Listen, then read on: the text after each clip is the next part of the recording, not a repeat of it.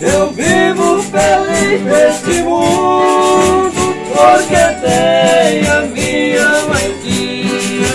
Todo dia eu peço a Deus que dê vida e saúde pra minha velhinha. Todo dia eu